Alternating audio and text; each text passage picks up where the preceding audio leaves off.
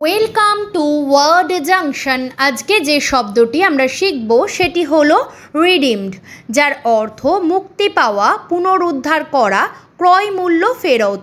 First example he redeemed himself after the earlier mistake যার অর্থ আগের ভুলের পর তিনি নিজেকে মুক্তি দিয়েছিলেন।